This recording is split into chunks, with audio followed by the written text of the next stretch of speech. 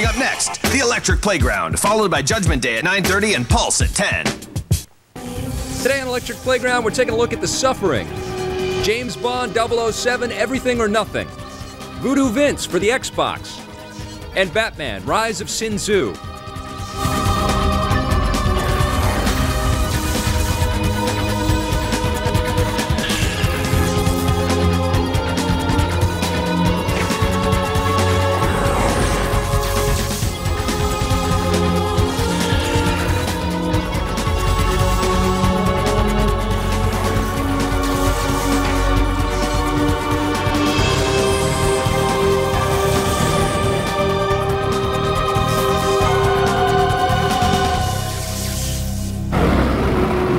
Waiting for your chance to stop an evil madman from taking control of the world? Well, now's your chance. James Bond is back in Everything or Nothing. All right, you ready for Bond? I'm here with Don to talk about 007, Everything or Nothing. You know, everyone loves, you know, GoldenEye. Why go first person? Well, I think there's a couple reasons why. I mean, number one, we don't have a Bond movie this year, and so people want to know well, what's James Bond about. So we want to go and deliver, you know, deliver his style, his attitude, his his movements, his you know his actions, all those kind of things that you couldn't see before, and uh, really understand why Bond is so cool. What we couldn't do last year was actually show James Bond do all the cool stunts and actions that you see him in the movies. So imagine yourself like if you're surrounded by three guys and you know they're, they're gonna gang up on you. Well, this year what you're gonna have is you're gonna be able to have hand-to-hand combat. So you'll be popping one guy in the face, and then the guy behind you, you'll elbow the guy, and then the guy right next to you, you'll be basically throwing arm and flipping around. Uh, we're bringing some of the old Bond cast back. So you'll have Judi Dench as M, you'll have John Cleese as Q. We're gonna bring back Jaws, you know, Richard Kiel as Jaws because hey, he's a badass Bond henchman. And on top of that, we're bringing in new faces because uh, we want to really show how Bond is fresh this year. So as our Bond villain, we're bringing in Willem Dafoe. And on top of that, our good Bond girl was Shannon Elizabeth, and our bad Bond girl is actually Heidi Klum. Can you fly this? Mr. Bond. James Bond. And last year's uh, game, obviously, was Nightfire, was known for, you know, the first-person levels and also the driving levels. Are we going to have sort of a combination of that again? Oh yeah, and I think is going to be more uh, more intensity, especially with the driving levels, because Bond's going to be on the motorcycle the first time. He's going to be on the Triumph Daytona 600. So you're riding this motorcycle down the what we call the Pontchartrain Bridge, which is in New Orleans. You're driving through the bridge. You're chasing after Jaws because he has this tanker. He's taking this tanker full of explosives down to New Orleans. He's trying to blow New Orleans up. So you got to chase him through all this traffic, and you're just totally driving it through. And of course, we still have the Aston Martin Vanquish. We even have an off-road vehicle with the Porsche Cayenne. Helicopters, tanks. So we really up the you know up the ante on the driving side as well. Tell me a bit about the plot. I mean, the fact that it's written by this guy who's written actual Bond movies. I mean, what's the story? What is Bond doing this time? There's this technology called the nanotechnology, which is uh, basically whatever you see those little circuit chips being built. Um, you know, those little things you typically can't see building those little tiny circuit chips would be the central focus around this whole game. What it is is that these guys who, you know, if you know about Russia, it's like now kind of, uh, I wouldn't say they degraded, but there's some segment of Russia where you don't have some good guys there. And they're trying to say, you know what, We're, we want the old glory back. And then you're going to see these guys trying to alter the nanotechnology to destructive ways that you'll see in the game on how exactly, that, how destructive that's going to be. One day, are we going to, you know, have a situation where this game could potentially become the next Bond movie because it's such a great story? Yeah, don't be surprised because I'll tell you right now, just a lot of things we're being able to pull in. I think a lot of people from here on out will see all the things that we can pull off in the game. They're gonna say, hey, can we pull that off in the movie? And I think you'll see some interesting things coming out pretty soon. So, so Heidi or Shannon, what's your pick? Oh gosh, I love both of them. I know that I love Shannon because she's a total gamer, Right. but I love Heidi because she's she has that smile that just wins you over. But you know, the fact is, Heidi is gonna be the bad girl, so it's a little bit of Heidi that I'm kind of digging.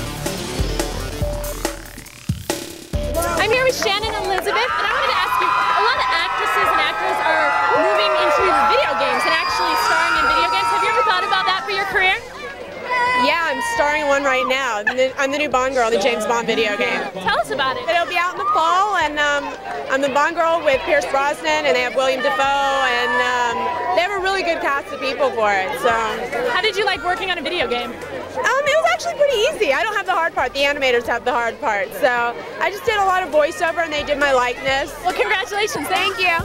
Stick around, we're coming right back with Batman Rise of Sin Tzu.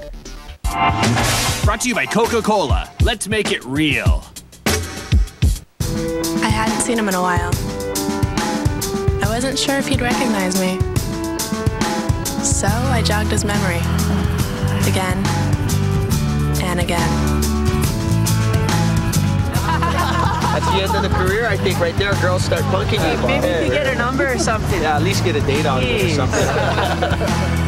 I still don't know if he knows my name, but I'm pretty sure I left an impression.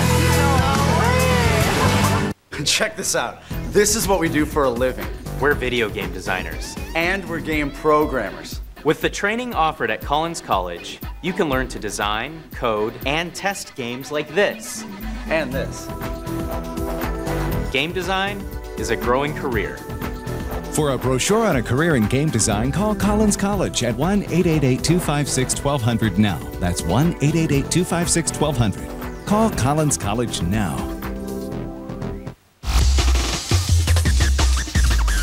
Microsoft's about to release a brand new game for the X for the Xbox called Voodoo Vince, and it stars a cool little voodoo doll. And we brought out some voodoo dolls of our own. Check this out. Sweet. Sweet. Oh. How'd you like that, huh? It's not too bad. Show you some of this. Hey! Ow! Right in the munchkin. I'm really excited about this next game called Voodoo Vince because it takes place in New Orleans and it's about a voodoo doll who's trying to save who? Uh, Madame Charmaine, his creator. Uh, Vince is her uh, third best voodoo doll, and, and he's been. Uh, Only third best? Yeah, only his third best. Well, he's a humble guy, but he's he's quite powerful, as you'll find out. So did she get kidnapped? But yeah, she's been kidnapped, and, and Vince's uh, quest is to rescue her. There's this guy Cosmo, the inscrutable Cosmo, and he, he's stolen some of the uh, magic dust, the voodoo dust, from Madame Charmaine's uh, shop. And so as he's going off through there, it's falling out of the truck, you know, and it's warping the world. These guys are coming to life, and this magic is what Vince has to battle on his way. Uh, so magic kills Vince, and how does Vince kill magic? Well, he works up voodoo powers.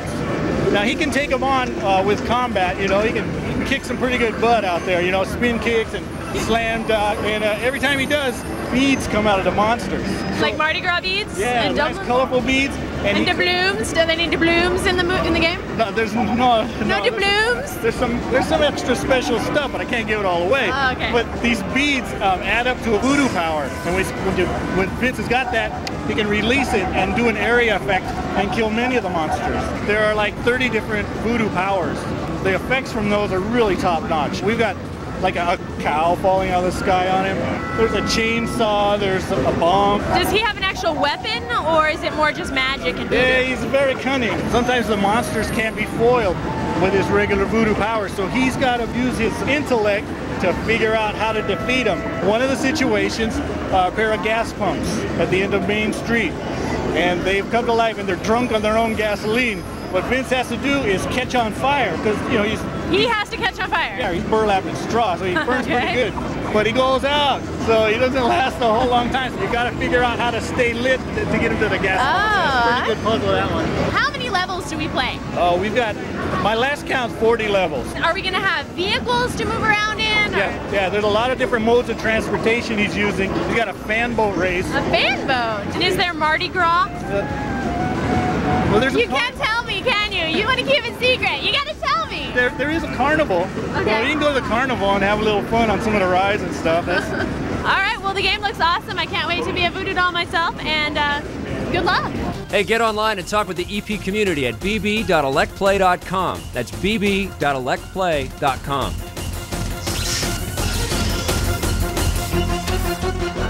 I'm standing here with Mike Kunkel, who is going to tell us all about Herobear and the Kid.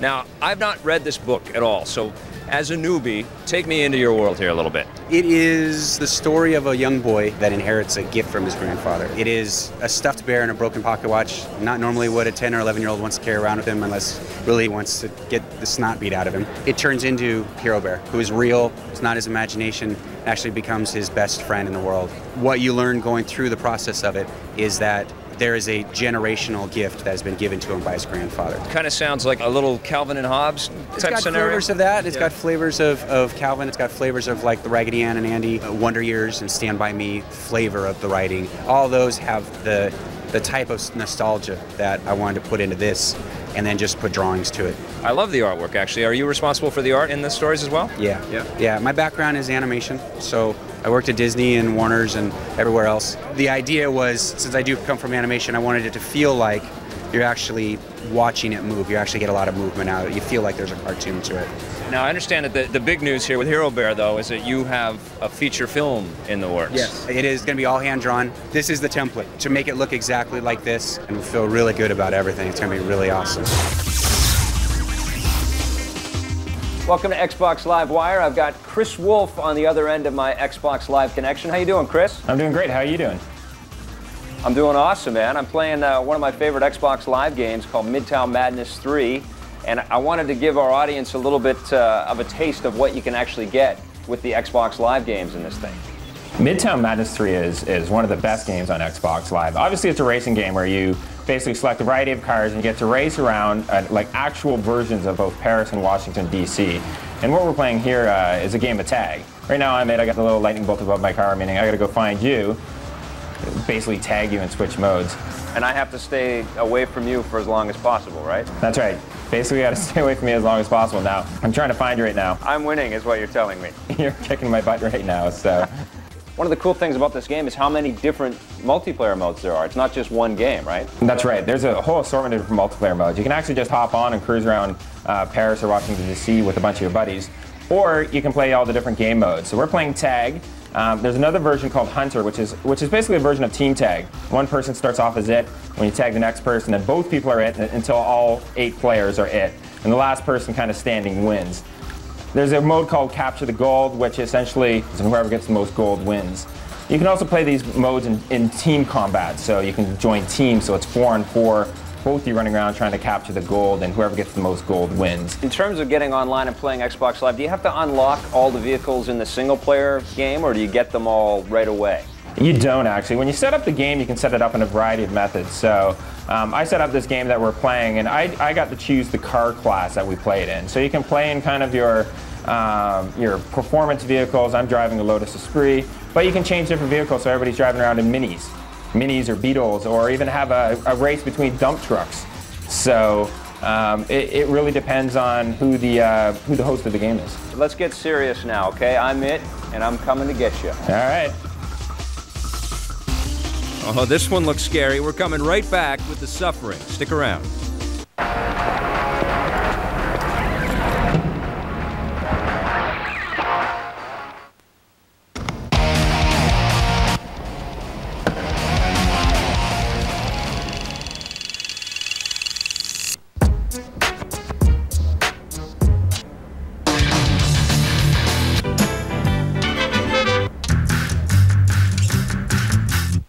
BMW introduces the first seamless integration of iPod and automobile. There's only one award show for gamers, G4ia, where wondrous celebs, heavenly bands, and gaming's biggest awards come together in a paradise for players. Join us for the ultimate gamer celebration. Watch it only on G4 Tech TV. G4ia, sponsored by EB Games and Jeep. The last time we caught up with Surreal Software, they were working on a dragon game called Drakan. Well, now they've gone considerably darker with their brand new survival horror game called The Suffering. Take a look at this.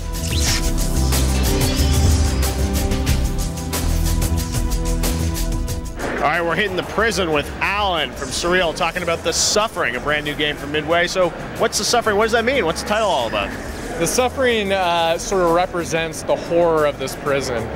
You take control of Torque, who is uh, sentenced to death for a crime that he doesn't even remember. As you begin the game, you're set on Carnate Island, which is this sort of island with this dubious history of killings and uh, murders and things like that. So when you're put onto this island in death row, this sort of cataclysmic event occurs and all these horrific apparitions appear, and then you have to fight through this. In doing so, you sort of figure out what you were imprisoned for and whether you actually indeed did the crime or not.